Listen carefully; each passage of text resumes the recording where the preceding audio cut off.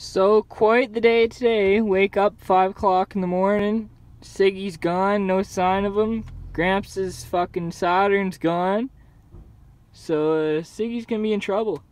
And then call the staff, his group home there, and apparently he showed up on a BMW motorcycle. So, the cops called us. He ditched the car somewhere in Havelock or ran out of gas. And then, yeah, he stole a bike.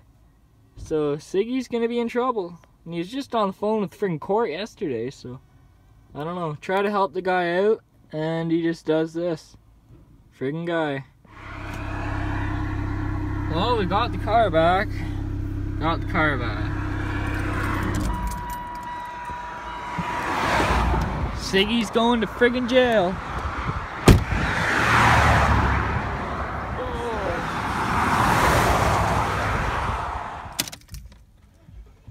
What a day.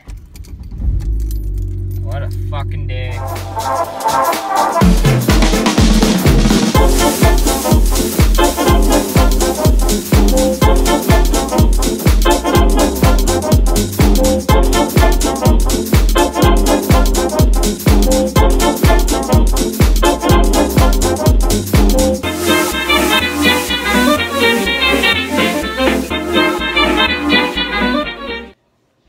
So I've had cops freaking call me all day, on and off the phone. Apparently Ciggy's arrested. They found the bike or got the bike back to the owner. Then the owner looked at the kilometer reading. Apparently Ciggy put 120k on it. And he was already pretty much, like, he was only 20 minutes out of Peterborough where we found the car. So he was freaking brapping that bike for a good hour or two, just brapping around. Oh man, kid has no common sense.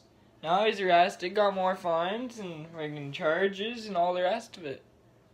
Just lost friendship, bud.